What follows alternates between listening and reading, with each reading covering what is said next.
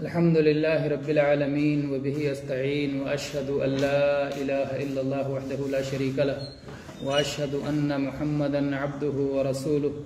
اما بعد، نبی کریم صلی اللہ علیہ وسلم ایک بار اپنی سواری پر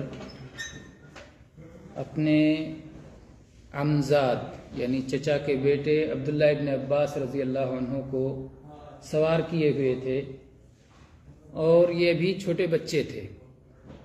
نبی صلی اللہ علیہ وسلم کی وفات کے وقت عبداللہ ابن عباس رضی اللہ عنہما کی عمر کوئی بارہ تیرہ سال کی رہی ہوگی۔ تو اس سے آپ اندازہ کر سکتے ہیں دس بارہ سال کے بچے تھے۔ نبی صلی اللہ علیہ وسلم اپنے سواری پہ بٹھائے ہوئے ان کو کہتے ہیں کہ اے بچے اے بچے، میں تم کو چند باتیں سکھاتا ہوں جس سے اللہ تمہیں نفع پہنچائے گا۔ بچوں کو کس طرح سے تعلیم دی جانی چاہیے؟ نبی صلی اللہ علیہ وسلم کا اسوا اور نمونہ اس سلسلے میں یہ بہت بہترین حدیث ہے۔ آپ نے چھوٹے چھوٹے لفظوں میں پورا دین سکھا دیا۔ اللہ کے نبی صلی اللہ علیہ وسلم فرمایا، احفظ اللہ یا یحفظ کا اللہ کی حفاظت کرو، اللہ تمہاری حفاظت کرے گا۔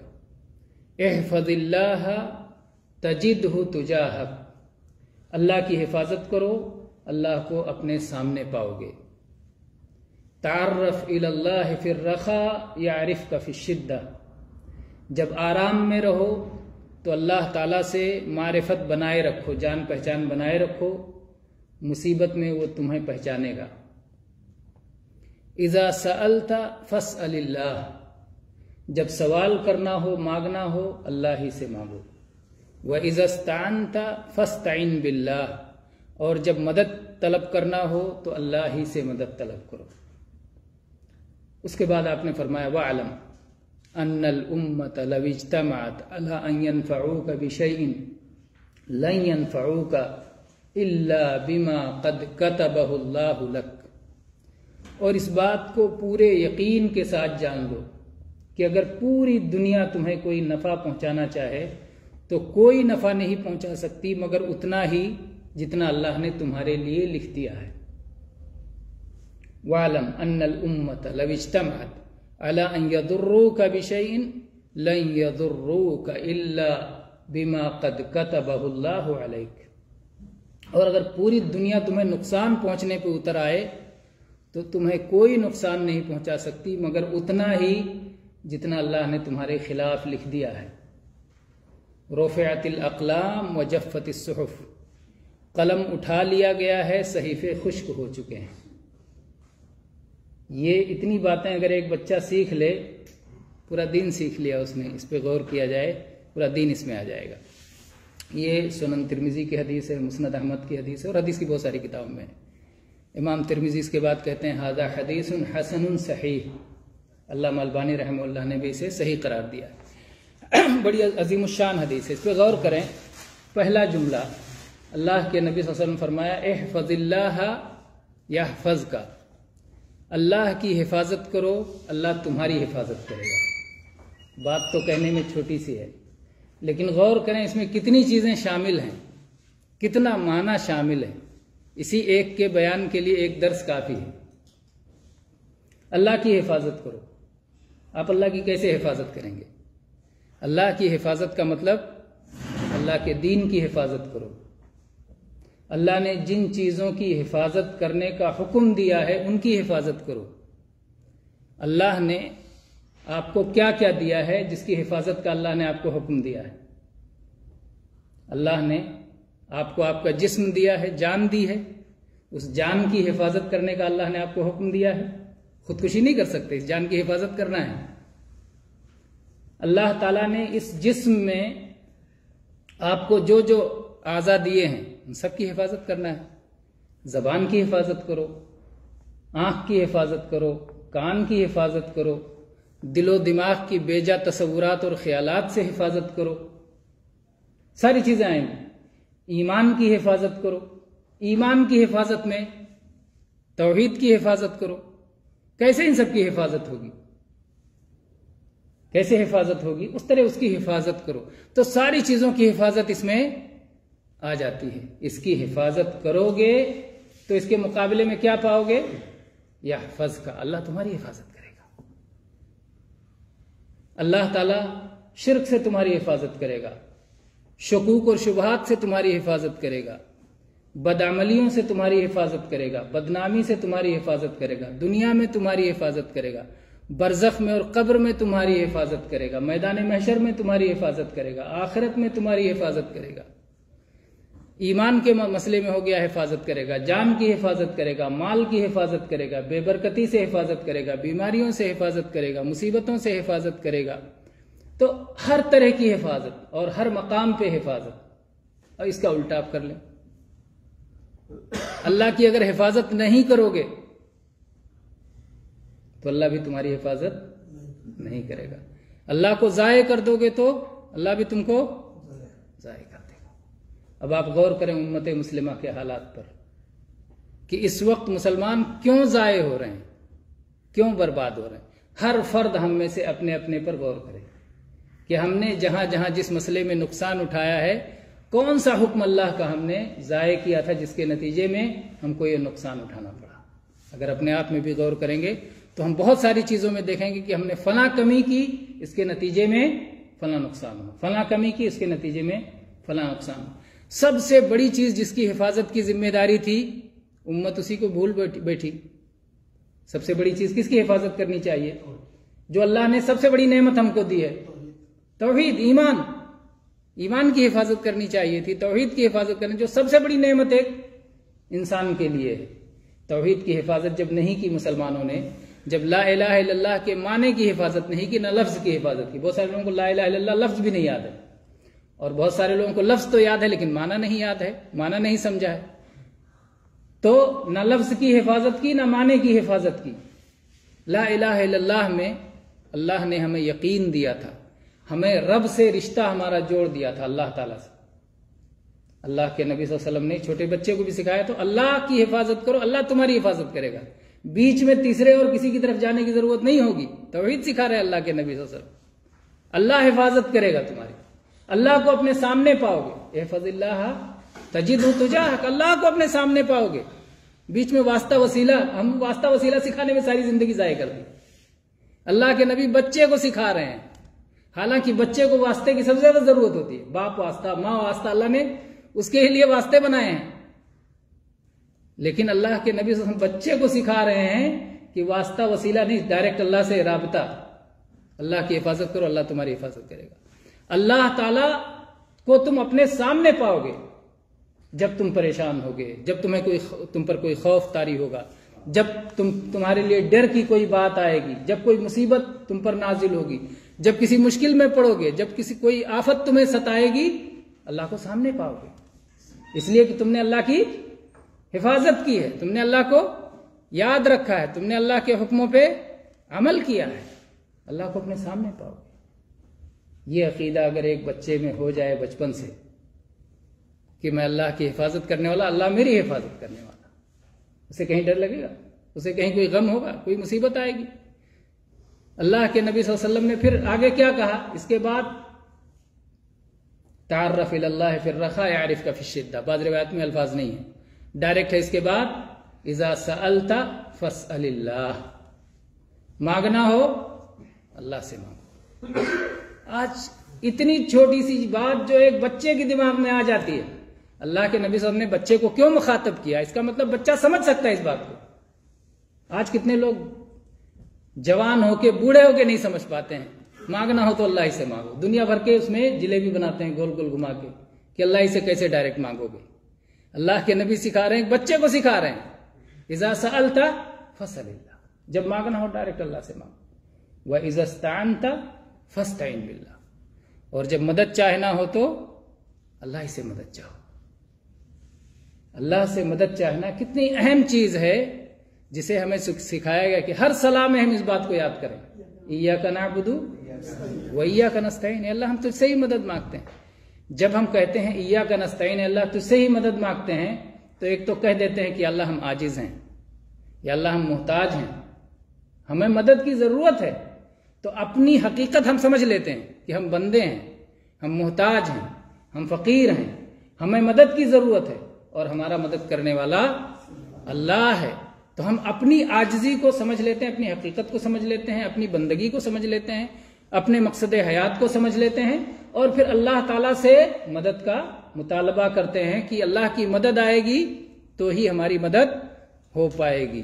تو اس میں گویا اپنی طاقت سے برات کا اعلان کر دیتے ہیں اور اللہ کی بڑائی کا اعتراف کرتے ہیں کہ وہی مدد کرنے والا ہے۔ نبی صلی اللہ علیہ وسلم نے وہ دعا بھی سکھائی ہے کہ اللہ سے مدد مانگتے ہو جب جب سلام پھیرتے ہیں تو کیا پڑھتے ہیں؟ اللہ آئینی اللہ ذکر کا و شکر اے اللہ، تو ہماری مدد فرما۔ اپنے ذکر پر، اپنے شکر پر۔ تو اللہ سے مدد طلب کرنا، یہ ایسی چیز ہے۔ آج اس میں بھی گمراہ کر دیا گیا۔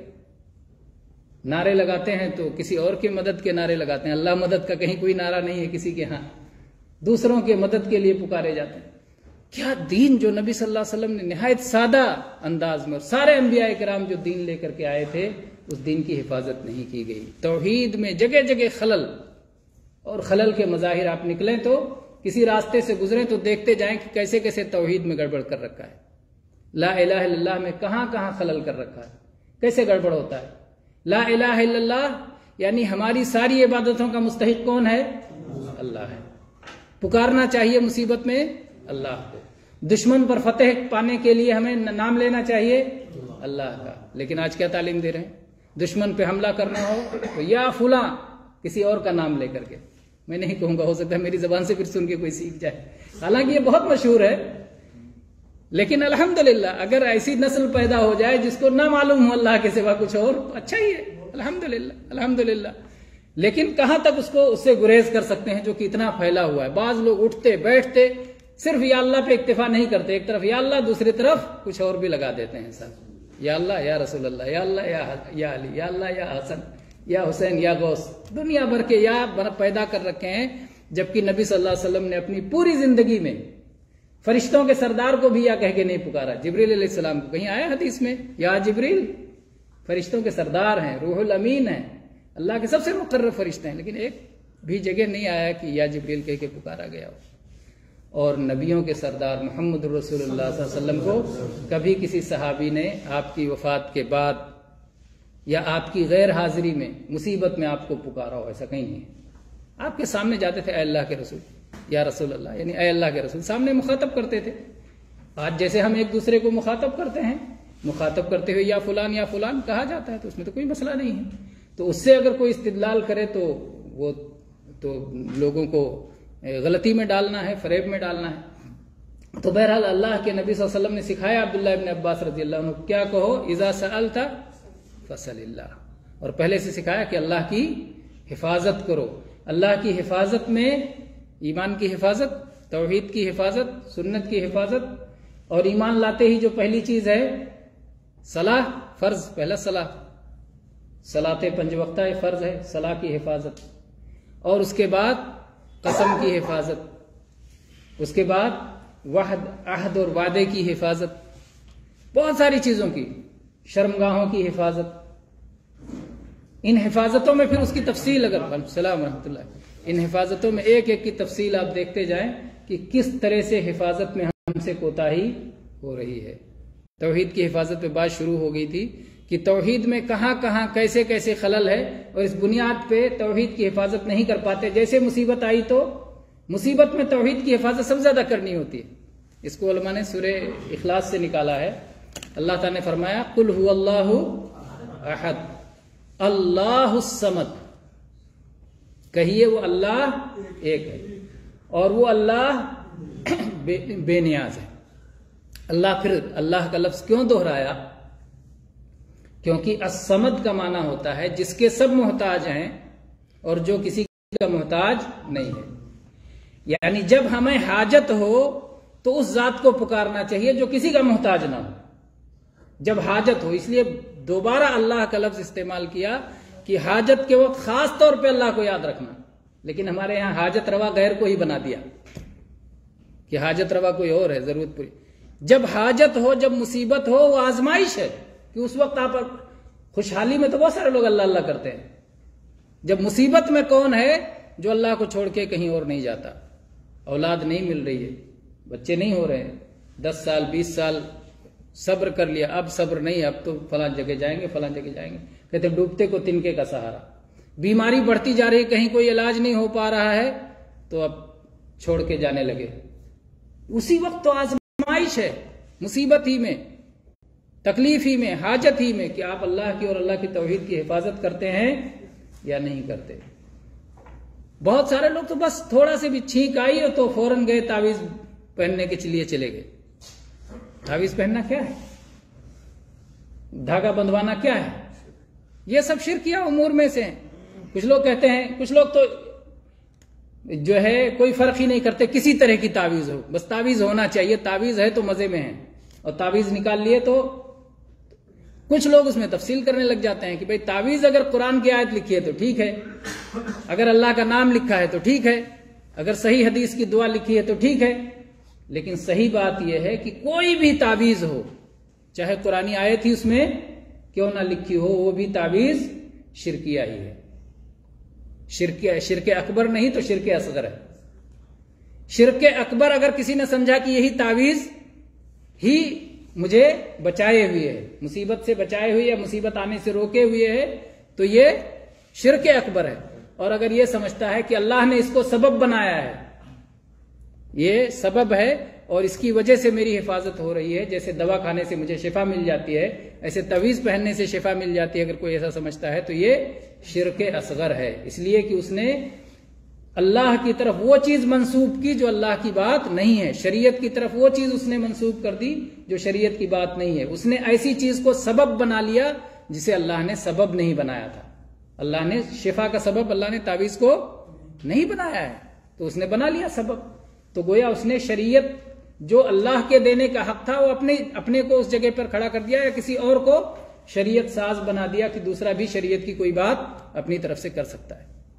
تو شرک اصغر یا شرک اکبر کسی نہ کسی شرک میں مبتلا ہو جاتا ہے۔ تو اس معاملے میں بھی توحید کی حفاظت نہیں کی گئی۔ چھوٹے چھوٹے معاملات جو دیکھنے میں لگتے ہیں۔ کچھ لوگ کچھ نہیں، زیادہ کچھ نہیں تو بس گھر کے دروازے پر یا گاڑی پر لکھا دیتے ہیں۔ ماشاء اللہ لکھا دیں گے کہ یہ ماشاء اللہ جب تک لکھا رہے گا گاڑی کو نقصان نہیں پہنچے گا۔ یہ کیا ہے؟ تعویذ ہے۔ اگر اس نیت سے گاڑی پر لکھایا ہے ماشاء اللہ کہ اگر گاڑی پر لکھا رہے گا تو گاڑی محفوظ رہے گی تو تعویذ ہے۔ اگر گاڑی میں قرآن شریف اس لیے رکھے ہوئے ہے کہ جب تک قرآن شریف میری گاڑی میں ہے، میں سیف ہوں، میری گاڑی سیف ہے، تو تعویذ ہے۔ عقیدہ خراب ہے اس کا۔ ہر وہ چیز جس سے آدمی کوئی ایسا اثر حاصل کرنا چاہے جو اثر حقیقی طور پر نہ ہو، بلکہ وہمی اور خیالی طور پر ہو اور شریعت میں اس کی اجازت نہ ہو، وہی تعویذ ہے۔ وہی تعویذ ہے۔ یعنی اگر کوئی شخص وہ کام، جب جب کوئی آدمی جو ہے گلے میں کوئی دھاگا لٹکاتا ہے یا ہاتھ میں لٹکاتا ہے یا کچھ لکھ کے لٹکاتا ہے اور سوچتا ہے کہ اس کے ذریعے سے مجھے میں مصیبت سے بچا رہوں گا جبکہ اسے مصیبت سے بچنے کا ذریعہ نہیں بتایا گیا۔ یا جو اسے بیماری ہے، وہ بیماری دھیرے دھیرے اس کے ذریعے سے ختم ہو جائے گی، جبکہ اس بیماری کے ختم کرنے کا وہ ذریعہ شریعت نے نہیں بتایا گیا اور نہ ہی حقیقت میں ایسا ہے۔ تجربے سے ایسی کوئی چیز نہیں ثابت ہے جو حقیقی چیز دوا کھانے سے بخار اتر جاتا ہے۔ یہ تجربے کے تجربے کا علم ہے اور یہ حقیقت ہے۔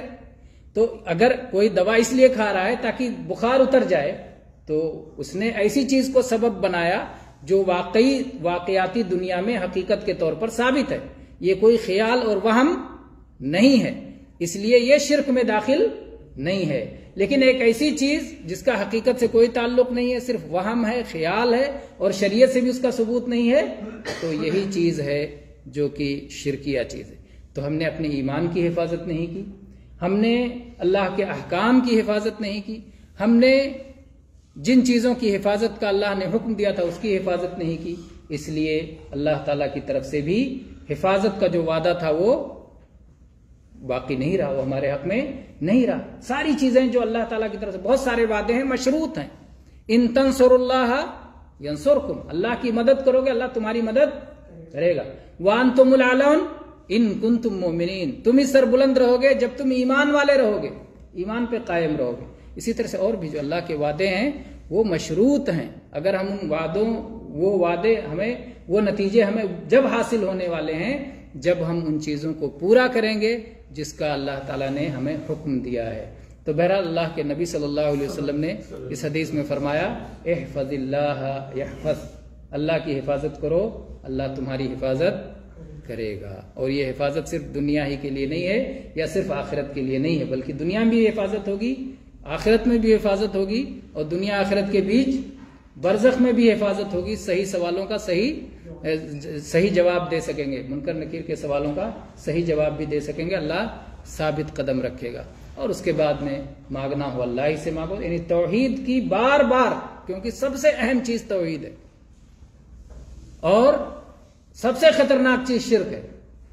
اس لیے ایک جملے میں یہ فضل اللہ ہی کی، اللہ کی حفاظت میں آ گیا۔